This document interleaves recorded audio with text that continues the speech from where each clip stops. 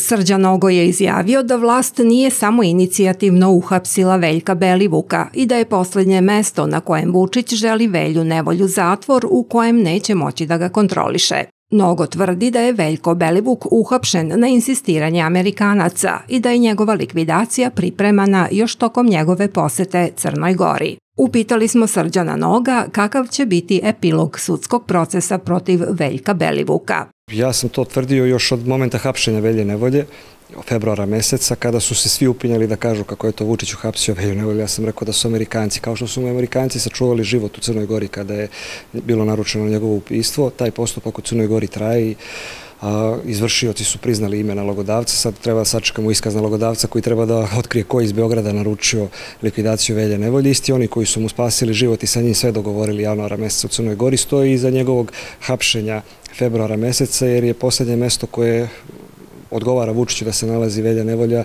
pritvorska jedinica, jer on ne može da iskontroliše sudski postupak i ne može da iskontroliše šta će sve biti izneto u toku tog sudskog postupka. Kakav će biti epilog, zaista je teško prognozirati, jer mi nemamo uvid, istraga je tajna šta posjeduje se od dokaznih materijala. Mi vidimo kompromitaciju dokaza koju vlast vrši, spretno, nespretno, kako god, sigurno ne samo nespretno, iznoseći razne detalje u medije.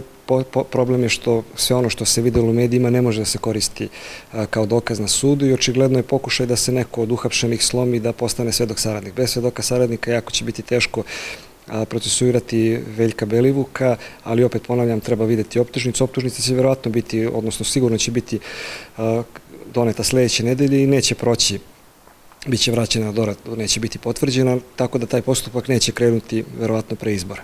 A vidjet ćemo naravno njegove pelog u ovom trenutku je nezahvalno, nezahvalno prognozirati, jer prosto jedna je stvar da vi znate da je nešto urađeno, a potpuno je druga stvar to da dokažete. Imate jedan zanimljiv slučaj u Americi, kada je lice pokupilo devojku u diskoteci, odvelo je kući, proveli su noć, ujutru je se ona probudila i setila se šta je on pričao tokom noći, da ima leš u ormaru. Uplašila se, bila je zaključana su vrata, ali ostala je cedulica da je otišla da kupi doručak da se brzo vlaća. Pozvala je policiju, policija je došla, provalila je u stan.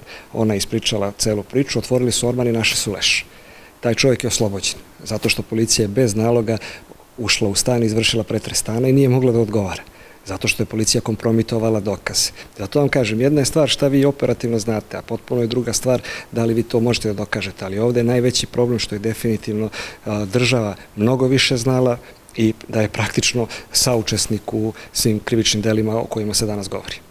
Tužilaštvo za organizovani kriminal u Beogradu podiglo je optužnicu protiv Veljka Belivuka i njegove grupe. Ova kriminalna grupa koju su predvodili uhapšeni Veljko Belivuk i Marko Miljković, prema rečima najviših predstavnika vlasti Srbije, tereti se za najteža krivična dela. Istraga je vođena protiv 31 osobe koje se terete za pet teških ubistava, trgovinu drogom i oružjem, jednu otmicu i jedno silovanje. Političar Srđan Nogo smatra da je bez svedoka saradnika teško dokazati navode optužnice, a otežavajuća okolnost u rasvetljavanju svih pojedinosti ovog slučaja je činjenica da je država mnogo više znala i da je praktično saučesnik u svim krivičnim delima o kojima se govori, tako da Nogo veruje da postupak protiv Belivuka neće krenuti pre izbora.